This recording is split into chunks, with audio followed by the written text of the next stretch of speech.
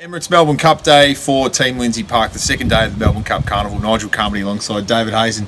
David, we'll get to the Cup shortly. We kick things off in the two-year-old, the Emirates 100th A380 Stakes, and Crofila backs up for Kerrin McEvoy, Barry 11, 56 kilos. The Group 3 for the two-year-old fillies, superb on Guineas Day in the Debutante Stakes. She really was, and um, she trialled well down the straight, and we think she'll be really hard to beat. We then head to race two, three runners in the tab.com.au trophy, the 700 metre race for the mares. Hella High Water for Dean Yendall, 61 kilos, barrier 10, comes off an eighth in the Ladies' Day Vase. Yendall back on, four rides for three wins. Yeah, Yendall has the keys to it. Um, she might have got a speeding ticket last start. Um, big weight, but a really healthy mare, should run well. Rocket Commander comes off its fourth in the Tesio and Cox Plate Day. Kerrin McEvoy drawn, drawn one with 57 kilos. Yeah, look, um, if it rains, and she's better if there's a bit of cut in the ground. If we don't get the rain, I'd probably lean to Hell High Water. And last of the runners is Miles of Christian for Michael D. Barry 3, down on 54 kilos. Third up after 12 and 1400 metre runs. Was third to Emily Starr, third up last time in a Group 2 in Adelaide. Yeah, it's good form. Uh, last run was full of merit, and Flemington 17 should be ideal and well weighted, so I think she'll run well. So good hand in that race. We then head to race four, the 2800 metre race, the Ronald McDonald House Charities Plate. Benchmark 96, Fanatic for Michael Walker, Walker's drawn barrier 17, 55 kilos. She's a New Zealand Oaks winner, drops in class here from four lengths back in the Geelong Cup. Yeah, she ran the Geelong Cup, was in season, and we've sorted that out. So, uh, and I think the distance will be ideal. Terrible barrier, need a real M Walker special ride from that gate, I think. To win for Kerrin McEvoy's drawn 13, 54 kilos, consecutive wins at 2,000, then 2,400 metres in the place getters, all 10 starts. Yeah, look, we're hoping we're going to have him here on the big stage next year.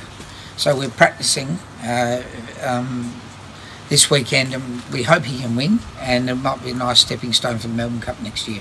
Race 5 is the Schweppes Flemington Fling, 1,000 metres for the three-year-olds. Wait for no one for Cory Parish. We'll he back up from Friday night, Moonee Valley? Make a decision in the morning. Uh, probably will, but it's a horse that needs gelding.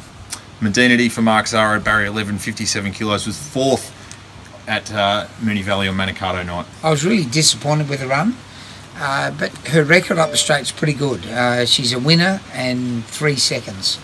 So um, she'll run pretty well, I think.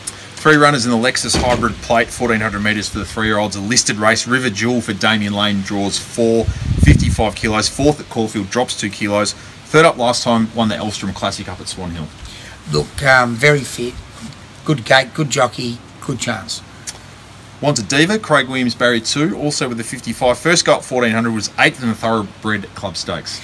Yeah, uh, not a lot went right for her, but for the first time to a good gate, and I think she's looking for 14 or a mile. So if she can run well here, we'll run her in the Sandown Guineas uh, next week. So um, we're pretty hopeful. And Lukwa for Blake Shin draws nine, drew the outside gate, wins six in the same race, the Thoroughbred Club. Yeah, look, even run, um, bit of a throw at the stumps, probably needs to improve on recent form.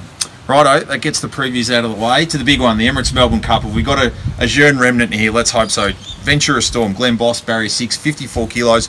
Bruce Hill, six lengths back in the Caulfield Cup, but third in the Turnbull Prize, splitting Winks and Humidor. How's its condition? Look, he, he um, pulled up um, with a bit of a foot after the Caulfield Cup. Um, we took a view to keep him fresh and probably backfired when the pace was so strong in the Caulfield Cup and he ran out of condition, pulled up with a foot, poured the work into him, responded well, and we're really hopeful for a better run because he is um, he was bought for this race 12 months ago. Um, if he hadn't run in the Caulfield Cup, I'd be really confident that he'd run well uh, the way he's trained. Where do you want him from six? Uh, I've just had lunch with uh, G Boss, and I reckon he'll be in the first eight cruising. Boom Time tries to become the 12th horse to do the Caulfield Cup Melbourne Cup double. Up a kilo, Cory Parish, barrier 9 with 53. Two wins at Flemington, including one over 2,500 metres that you can basically ride off its only 3,200 metre run, which was the heavy track, the Sydney Cup earlier in the year. Yes, I don't count that. Uh, look, he's done, he's improved from the Caulfield Cup. The horses that ran behind him are favourite, second favourite. Can't understand the market. Um, I think he's a great each way chance. Very fit, going well. Again, drawn well. You'd imagine it's going to sit forward as it did in the Caulfield Cup. Probably a length or two further back because I'm predicting really fast pace. Um, there's a Williams Army in the race, and I'd, I'd imagine a couple of them will be rolling along. So Boom Time and Ventura Storm for Team Lindsay Park in the Emirates Melbourne Cup. To the James Boag Stakes, he or she for Dwayne Dunn over 1800 metres has drawn the outside gate with 58 kilos, beaten five lengths in the Toorak. Yeah, really was getting going late. Um, I would say that gate won't matter because we'll be uh, sitting back and charging home. He's been out of form all year, but probably run a better race. Also got Tashby for Blake Shin, drawn five at 55 kilos, beaten three lengths in the Moonga Stakes and was fourth in this race last year with 56 kilos. Look, he'll get a good run. He's very fit, and his best form is, you know, in this class. So, um, probably stable elect in this race. Down the straight, the MSS Security Sprint 1200 metres listed race. Darren Blake Shin, barrier 20 with the 58, was scratched from the Group 2 on Saturday. Class drop from its recent runs.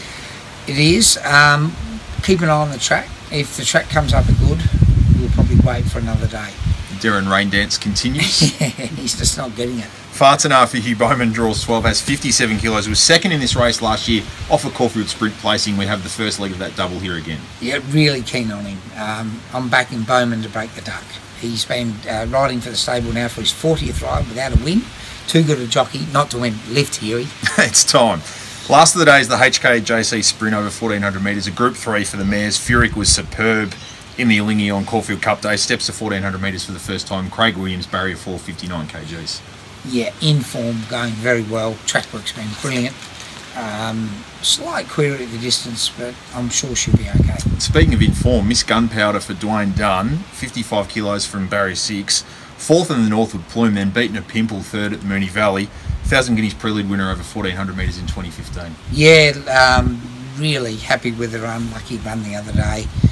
Um, hard to beat, I think. It should run well. If you ask me which one, I haven't got a clue. I'd back one and save on the other. Got a great hand in the card, midpoint of the Melbourne Cup Carnival week. Your best on a big day? The two-year-old race one. Get the money early with Kafila. We'll be back to preview Oaks Day on Lindsay Park's online and social channels.